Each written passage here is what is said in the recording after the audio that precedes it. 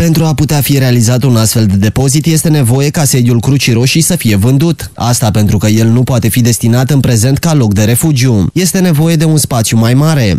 Sediul filialei uh, luasem o decizie împreună cu biroul filialei de vânzarea spațiului pentru a achiziționa un spațiu mult mai mare pentru a Uh, achiziționa acest spațiu și a face un depozit zonal pentru dezastre. Uh, Crucea Roșie Română este împărțită și ea pe zone și zona Oltenii, Old, Gorj, Dulj, Vâlcea și Mehedinți, la ora actuală, după 9 are împărțire teritorială, nu avem un depozit zonal.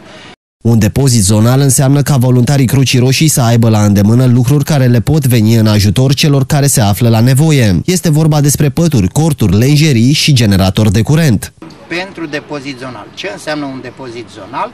El va fi echipat cu un necesar minim pentru dezastre, însemnând corturi, însemnând pături, lenjerie, uh, instalație de filtrare a apei, generator de curent și așa mai departe.